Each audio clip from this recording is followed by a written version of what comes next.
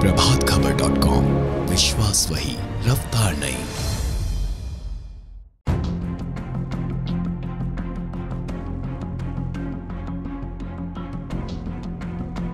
जवाहरलाल नेहरू विश्वविद्यालय छात्र संघ के पूर्व अध्यक्ष और वामपंथी नेता कन्हैया कुमार जल्द ही कांग्रेस में शामिल हो सकते हैं।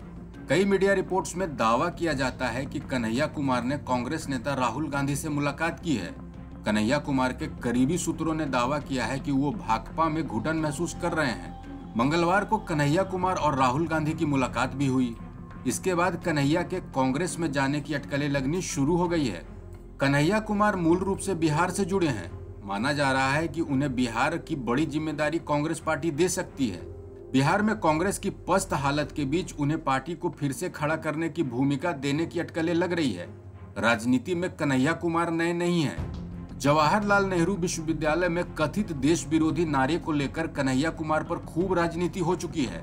दूसरी तरफ़ कन्हैया कुमार 2019 के लोकसभा चुनाव में बिहार की बेगूसराय सीट से प्रत्याशी बने थे। भाकपा के टिकट पर चुनावी मैदान में उतरे कन्हैया कुमार को केंद्रीय मंत्री और बीजेपी कैंडिडेट गिरिराज सिंह ने बुरी तरह हराया था। पिछले साल बिहार विधानसभा चुनाव में भी कन्हैया कुमार ने प्रचार किया। लेकिन महागठबंधन को अपेक्षित सफलता नहीं मिली। पश्चिम बंगाल विधानसभा चुनाव में भी कन्हैया कुमार प्रचार के लिए पहुँचे थे।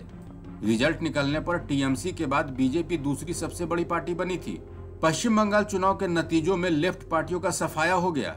दावा किया जा रहा है कि कांग्रेस कन्हैया कुमार को उत्तर प्रदेश के विधानसभा चुनाव में पार्टी के प्रचार का जिम्मा दे सकती है। इस रिपोर्ट में इतना ही। दूसरी खबरों के लिए बने रहिए हमारे साथ। प्रभात खबर डॉट कॉम विश्वास वही रफ्तार नहीं।